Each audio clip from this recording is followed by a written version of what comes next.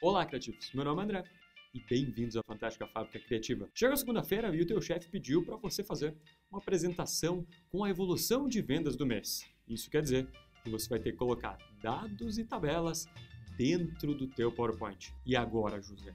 Como é que fica isso? Você já começa a arrancar o cabelo e tá lá mais uma apresentação sem graça, cheio de número e informação que ninguém gosta de assistir. E aí você pensa: Vou na Fantástica Fábrica Criativa e o André vai fazer um milagre e resolver meus problemas. Pode até ser, mas antes de você querer inovar, de querer fazer teu gráfico pular, fazer ele vir lá do espaço da lua, você tem que saber o básico o que, que você está errando ali nos princípios simples de quando você coloca um gráfico, uma tabela no PowerPoint. Muitas vezes a gente não tem tempo de fazer algo extremamente inovador. Tem vezes que você faz reunião toda semana, todo dia colocando uma tabela ali. E muitas vezes o simples bem feito é melhor do que você querer inventar a moda ali. E é por isso que no vídeo de hoje eu vou mostrar para vocês quais são os cinco principais erros que você está cometendo dentro da tua apresentação de dados e como que você pode corrigir eles.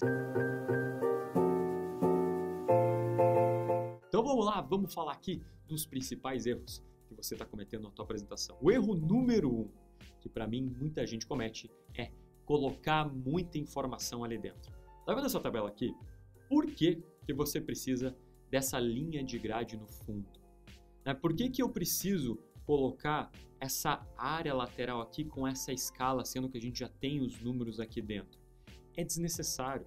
Pensa, tudo que está dentro ali, dessa tua tabela, desse teu gráfico, que não ajudar, não contribuir com o que você vai falar, não ajudar a tua audiência a entender melhor a informação, você vai retirar, você vai eliminar. Toda a informação que você passa ali é muito clara para você, porque às vezes você já viu milhares de vezes. Mas às vezes as pessoas que estão assistindo, elas estão vendo pela primeira vez. E isso pode deixar só teu gráfico mais confuso ainda. Então a ideia aqui é que a gente limpe, deixe ele mais simples. E eu já quero ligar esse primeiro erro com um segundo que as pessoas cometem muito, que é texto e informação que você não consegue ler. Tá vendo aqui como tudo está muito pequenininho? Se a gente projeta até a nossa tela, você vai falar, não, mas dá para ler numa boa. Tá. E se você está dentro da tua empresa, às vezes num auditório enorme, será que todo mundo vai conseguir ler isso? Ou pior, o que eu vejo muitas pessoas fazerem, elas querem economizar espaço. E daí é a grande briga de várias empresas. Eu passava por isso quando eu estava dentro da minha empresa também. Eles me falavam, a gente tem que economizar tempo. Eu quero que você coloque tudo dentro de um slide só. Então, o que, que a pessoa faz? Ela vai e coloca quatro gráficos. Claro que aqui, gente, eu estou colocando só de forma ilustrativa, tá? Não é como se fossem os quatro iguais. Mas é basicamente isso que acontece. O cara vai e coloca quatro, ainda coloca tudo por cima um do outro aqui, coloca por cima dessa barra, porque dane-se, por que não? E a gente só joga e deve se joga quatro informações ali dentro fica cada vez mais difícil de ler. Primeiro de tudo que você nem precisa ter tudo no slide só, mas esse não é o ponto, eu já falei isso em outros vídeos. Mas quanto mais informação você tem aqui, mais difícil vai ser de ler. Então o texto tem que estar visível, tem que estar grande. Então olha só, se desse gráfico aqui, vamos voltar, vamos ter um só de novo. Se esse gráfico, por que eu não posso deixar ele mais simples? Por que eu não posso deixar ele mais visível, com as informações maiores, com cores que a pessoa consiga ver? todo gráfico, gente, vocês conseguem editar. É muito simples. Se eu vier aqui nesse gráfico, primeiro de tudo, clico nele. Você está vendo que você abre essas duas abas, design do gráfico e formatar. Se eu clico em design do gráfico, você vai ver que eu já tenho alguns exemplos prontos, mas esses exemplos prontos do PowerPoint nunca são o ideal. Então o que eu vou fazer? Eu vou pegar o mais simples aqui e eu vou deixar nesse estilo. E agora eu vou começar a mexer nele. Se você vem nessa aba formatar, você pode mexer no teu gráfico inteiro. É só você clicar nas partes do gráfico que você vai poder editar cada uma delas. Se eu clico no fundo, venho aqui em preenchimento e deixo sem preenchimento, você está vendo que ele já fica vazado. Então você está vendo aqui que eu posso vir, clicar na linha, vir na aba formatar aqui e aumentar a espessura da linha para deixar ela maior. Eu posso clicar agora no texto e deixar meu texto também maior, deixar 24. Depois eu posso vir aqui e reposicionar essa caixa, eu posso vir mais perto e arrastar, por exemplo, lá para cima. Você pode mexer em todas elas, todas elas aqui. Então você pode editar o gráfico como um todo. Você vai clicando nos elementos dele e ele vai deixando você mexer nesse gráfico para deixar ele mais visível. Então se a gente coloca dessa maneira, independente da pessoa que está lá, que está no fundo, que está na frente, ela vai conseguir enxergar. E isso que é o mais importante, que todos consigam enxergar os números que você está falando. Porque não adianta você colocar algo bem pequenininho, que as pessoas vão, vão espremer o olho ali para tentar ver sobre o que você está falando, ela vai deixar passar, porque dependendo da reunião ela não vai nem te interromper. Você acha que a pessoa entendeu, a pessoa acha que entendeu também e toca o barco. Não adianta nada. Uma coisa legal que você pode fazer também, ao invés de deixar isso tudo perdido, você pode delimitar a área do teu gráfico, colocando ele dentro de algum objeto. Normalmente gráfico a gente liga com tecnologia, então você pode, por exemplo, como eu fiz aqui, isso aqui é a foto de um computador em PNG que a gente pega da internet. Já falei para vocês em outros vídeos onde você acha essas fotos em PNG, mas você pode colocar dentro de um computador, dentro de um tablet, pode achar até a foto de uma folha de papel para colocar ali dentro.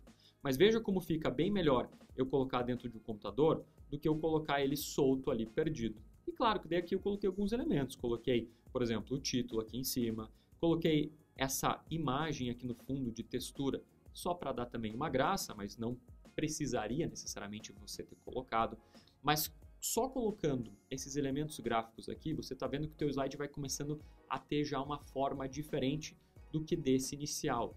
E eu não estou aqui revolucionando 100% como você apresenta os gráficos, não estou fazendo uma coisa aqui dele pular, não estou colocando astronauta nem nada.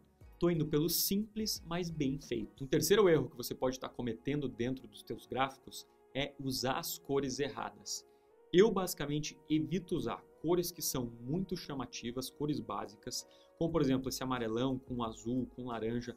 Você está vendo como ele não conversa com o resto do teu slide? Como você tem outras cores, como tem o roxo, tem o laranja, e seria muito melhor se a gente conseguisse manter dentro desse padrão. Outra coisa que as pessoas erram em relação a cores é usar cores muito próximas dentro da escala, que fica confuso de enxergar, como usar tudo próximo desse tom de azul. Fica confuso também. Então é legal que você consiga utilizar cores que conversem com o resto da sua apresentação e que também fiquem fáceis de identificar. Como por exemplo aqui, vocês estão vendo que eu estou usando essencialmente o tom de roxo e o tom de laranja a gente vai brincando com cores mais claras e mais escuras, mas elas conversam aqui com o resto do meu slide. E daí não fica nem nada muito agressivo visualmente, também nem muito confuso. E daí você me pergunta, como que eu consigo editar isso? Da mesma maneira do gráfico que a gente viu anteriormente, você pode vir aqui, clicar individualmente nos elementos e mudar a cor de cada um deles. Se eu clicar aqui, por exemplo, dentro desse gráfico, eu vou isolar só esse, essa parte dele Vou vir no preenchimento, eu posso mudar aqui, por exemplo, para esse laranja mais escuro. O outro, eu posso clicar também nele aqui, e daí eu vou colocar um tom de laranja um pouco mais claro, ou mais escuro se você quiser. Quero essa cor aqui do roxo, posso clicar dentro dele, venho no conta-gotas e puxo este, esse roxo aqui. Quero um roxo agora mais um pouquinho mais claro, você vai isolar ele de volta, vem no formatar, Aí eu posso vir aqui o que? Colocar esse roxo, mas se eu quero um tom mais claro dentro desse roxo, eu posso vir aqui em mais cores de preenchimento.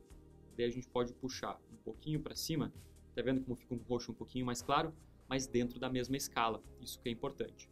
E daí a gente consegue deixar essa, esse padrão de cor aqui. Um quarto erro que as pessoas cometem, que é muito comum também, é usar as legendas que ficam muito distantes do teu gráfico. E a pessoa tem que ficar indo e voltando, indo e voltando para tentar entender os números. Como aqui, por exemplo, eu tenho a cor aqui dentro e daí eu tenho as legendas embaixo. Fica muito mais simples se eu usar dessa maneira em que a legenda e já o item está dentro aqui da cor, eu consigo já enxergar como eu coloquei dessa maneira. E do mesmo jeito que você consegue editar esses elementos do gráfico, eu consigo editar a cor da caixa, eu consigo editar, por exemplo, aqui o tamanho do texto, a gente pode deixar cada vez maior para ficar mais fácil de enxergar e para que todo mundo consiga entender teu gráfico rapidamente enquanto você fala. E um quinto erro, que eu acho que é muito comum dentro das apresentações, não tem a ver com o visual, mas sim com o conteúdo. Quando eu estiver no meu discurso apresentando esses dados, eu tenho que muito bem explicar para minha audiência o que aconteceu ali dentro. Mas não somente foi 43% ou foi 30%, mas por que, que a gente chegou nele? Quais são as consequências para a empresa? Isso é bom? Isso é ruim? Qual foi o esforço envolvido do seu time, o esforço foi muito maior comparado com outras empresas. Tudo isso é informação que vai dar contexto e vai fazer aquilo que você está apresentando ser muito mais importante do que um dado frio, um dado simples. Tudo isso está no planejamento da pessoa que vai falar. Não adianta nada deixar o gráfico lindo e bonito se eu não dou emoção para esses dados, se eu não estou passando a importância que eles têm. Muitas vezes as pessoas focam muito no visual e esquecem do conteúdo. Então esse planejamento é essencial. Mostre para as pessoas que estão ali assistindo tudo o que aconteceu por trás desses números. Aumentar 10% é bom? Não sei. O que aconteceu no passado? Será que no passado aumentou 20%? Tudo isso é importante ali na hora desse planejamento. Então, criativos, vocês viram que muitas vezes, fazendo só o básico muito bem feito, você já tem uma evolução enorme. Não adianta a gente tentar, às vezes, carregar com imagem, tentar fazer algo super disruptivo se eu ainda não entendo o básico. Começa por isso que eu tenho certeza que tuas apresentações já vão dar um enorme salto de qualidade. E como sempre, obrigado por assistir.